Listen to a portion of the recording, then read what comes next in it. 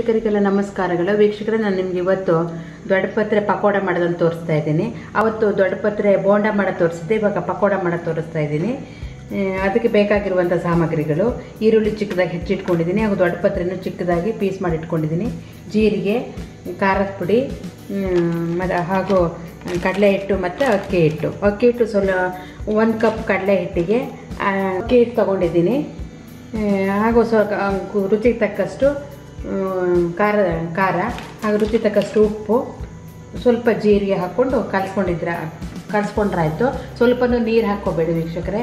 ಈ ದೊಡ್ಡ ಪತ್ರೆ ಎಲೆ ಮತ್ತು ಈರುಳ್ಳಿನ ಚೆನ್ನಾಗಿ ಕಲಿಸ್ಕೊಂಡು ಅದಕ್ಕೆ ಹಿಟ್ಟುಗಳನ್ನು ಕಲಿಸ್ಕೊ, ಹಾಕಿ ಕಲಿಸಿದ್ರೆ ಆಯಿತು ವೀಕ್ಷಕರ ನೋಡಿ ಇವಾಗ ಇದೆಲ್ಲ ಹಾಕಿ ಕಲಸಿಟ್ಕೊಂಡಿದ್ದೀನಿ ಅಕ್ಕಿ ಹಿಟ್ಟು ಸ್ವಲ್ಪ, ಹಾಗೂ ಕಡಲೆ ಹಿಟ್ಟು, ಈರುಳ್ಳಿ, ದೊಡ್ಡ ಪತ್ರೆ, ಜೀರಿಗೆ ಖಾರದ ಪುಡಿ, ರುಚಿ ತಕ್ಕಷ್ಟು ಉಪ್ಪು ಹಾಕ್ಕೊಂಡಿದ್ದೀನಿ ಇವು ಚೂರು ನೀರು ಹಾಕಿ ಕಲಿಸ್ಬಾರ್ದು. ಇದರಲ್ಲೇ ದೊಡ್ಡ ಪತ್ರೆನೇ ನೀರು ಹೊಡೆಯುತ್ತಲ್ವ ಹಾಗಾಗಿ ಇವಾಗ ಇದನ್ನು ಚಿಕ್ಕ ಚಿಕ್ಕದಾಗಿ ನಾವು ಎಣ್ಣೆ ಕಾಯಿಸ್ಕೊಂಡು ಡೀಪ್ ಫ್ರೈ ಮಾಡ್ಕೊಳ್ಳೋದು ಚಿಕ್ಕರೆ ಇವಾಗ ಎಣ್ಣೆ ಕಾದಿದ್ದಾಗಿದೆ ಇವಾಗ ಸ್ವಲ್ಪ ಸ್ವಲ್ಪವಾಗಿ ಬಿಡೋಣ ಎಣ್ಣೆಗೆ.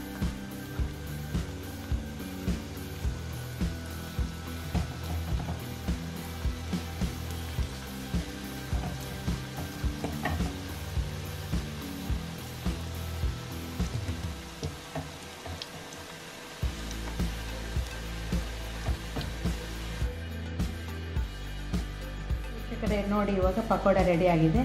ನೀವು ಮನೇಲಿ ಮಾಡಿ ರುಚಿ ನೋಡಿ ನಿಮ್ಮ ಅಭಿಪ್ರಾಯವನ್ನು ನಮಗೆ ತಿಳಿಸಿ. ಹಾಗೂ ನಮ್ಮ ಚಾನಲನ್ನು ಸಬ್ಸ್ಕ್ರೈಬ್ ಮಾಡಿ ಮತ್ತು ಲೈಕ್ ಮಾಡಿ. ಹಾಗೆ ಪಕ್ಕದಲ್ಲಿ ಬರುವ ಬೆಲ್ ಐಕನನ್ನು ಪ್ರೆಸ್ ಮಾಡಿ. ನಾವು ಯಾವುದೇ ಹೊಸ ವೀಡಿಯೋ ಹಾಕಿದ್ರೂ ನಿಮಗೆ ನೋಟಿಫಿಕೇಷನ್ ಬರುತ್ತೆ. ತಕ್ಷಣ ನೀವು ನಮ್ಮ ವೀಡಿಯೋನ ನೋಡ್ಬೋದು. Thank you